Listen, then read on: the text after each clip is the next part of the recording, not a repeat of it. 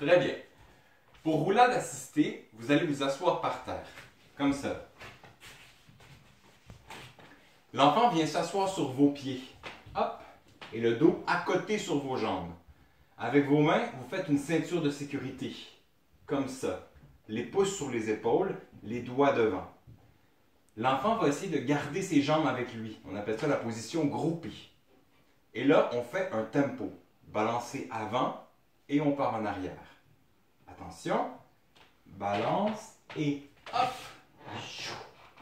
Je viens prendre les hanches. Et on dépose. Tadam! C'était. Roulade assistée. Merci beaucoup!